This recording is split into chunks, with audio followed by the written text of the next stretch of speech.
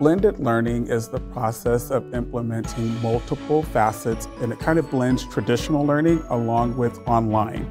So teachers can still employ the traditional model where the teacher is at the front of the class, whole group instruction, but blended learning also allows a teacher to kind of branch out a little bit and use a different platform to ensure that students have access to a rich, viable curriculum to help meet the needs of students. One of the perks of blended learning and doing rotations is the ability to interact with more students and to be on that more personal level with them. Even if sometimes when you have a small group, when you're in the small group, you're able to talk and be with your students more. It changes their way of learning. It's not just a routine. It always keeps it fresh and helps the students like, uh, stay active and look forward to future learning and classes. I use blended learning to do innovation and creativity in my content area of mathematics, in which I give expectations of behavior, but I don't give directions so that the students have the independence to go different pathways to solve the problem at hand, and I leave the questions more open-ended so there isn't a specific path they have to take. The most fun, honestly, it'd have to be designing. I really like being able to have like that technology at my fingers to like edit a picture or do some drawing or outlining. Like, I just really like being able to design and thanks to technology and blended learning, it just generally helps me a lot. In our advanced math program, we have used a rotation model to help with the blended learning. Um, each of the rotation does personalize their learning as in uh, we have a computer station, we have a interactive gaming uh, station and a teacher-led station.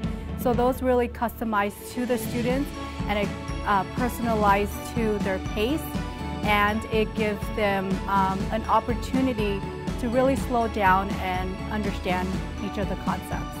So for me, as an eighth grade special education teacher, it gives me the opportunity to provide different types of modalities that I'm able to incorporate for my small classroom sizes. I'm able to pinpoint with my small class sizes who needs help where.